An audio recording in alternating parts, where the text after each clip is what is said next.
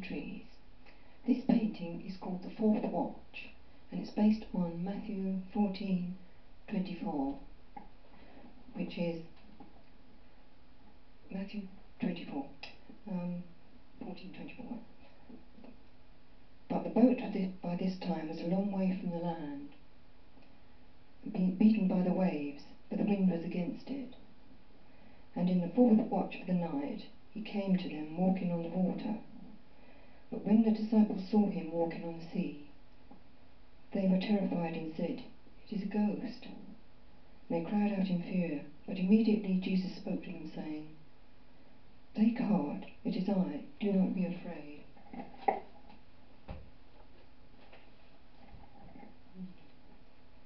In Matthew 20, uh, 14:24, the boat was a considerable distance from the land, buffeted by the waves because the wind was against it. The fourth watch, which is 3 till 6 a.m., is usually the coldest and darkest time of the night, as anyone who has woken up at this time will know, especially if they have something on their mind. Things seem magnified, problems and worries larger than life and we feel as if we're rowing against the wind, as in general Christianity has always been rowing against the winds of this world. But it is difficult not to feel that things are getting stormier in many ways. In literal storms in the weather, health, financial storms, political storms, then there are seemingly unsolvable problems in the world. We can't help but feel it's all coming to a head.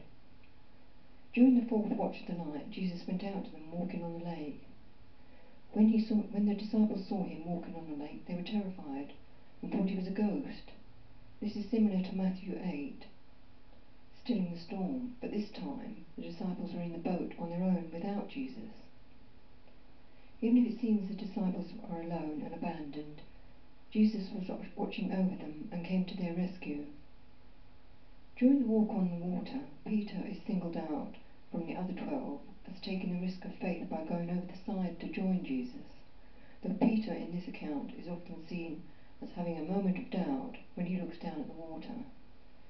But his faith, faith must be contrasted with the faith of the other eleven who were content to stay in the boat. His moment of doubt as he looks down and begins to sink, but immediately Jesus reaches out his hand and caught him you have little faith, he said. Why did you doubt? And when he climbed into the boat and the winds died down, those who were in the boat worshipped him, saying, Truly you are the Son of God.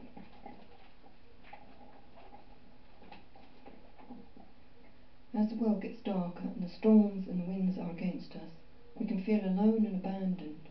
It is a comfort to remember Jesus watching over the disciples and coming to the rescue. And Peter was all right all the time he looked at Jesus. But when he looked down, it was when the, then that he started to sink. But Jesus reached down and caught Peter before he disappeared beneath the waves. And Psalm 93 has got, Mightier than the thunder of the great waters, mightier than the breakers of the sea, the Lord on high is mighty. And to explain the painting itself, the background of the painting is, is like a storm, but it's also like the cosmos a nebula, a new creation. The full moon is to re- represent the depth of the night, the darkest time. The hour of the wolf, I've heard it called. But there is a hint of rainbow colours in the clouds, ultimate hope and promise. The sea in the ancient mind represents chaos, but Jesus has control and is not affected by it. He walks on the water.